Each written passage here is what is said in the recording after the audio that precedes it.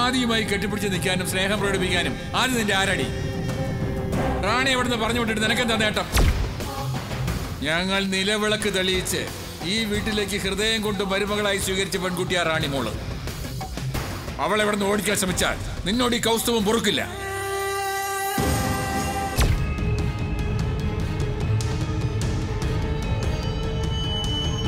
എന്നിട്ടും നിങ്ങളുടെ മകളുടെ കാര്യമല്ലേ എന്ന് വെച്ച് യാതൊരു എളുപ്പം കൂടാതെ ഞാൻ സംസാരിക്കാൻ തുടങ്ങിയപ്പോൾ രണ്ടുപേരും കൂടി എന്നോട് പുറത്തു പോകാൻ പറഞ്ഞു. പിന്നെ ഞാൻ അവിടെ നിന്നില്ല. നാണം കെട്ട് ഇറങ്ങി പോന്നു. പിന്നെയും അവിടെ ഇരുന്ന് അവരെന്തൊക്കെയോ പ്ലാൻ ചെയ്യുന്നുണ്ടായിരുന്നു.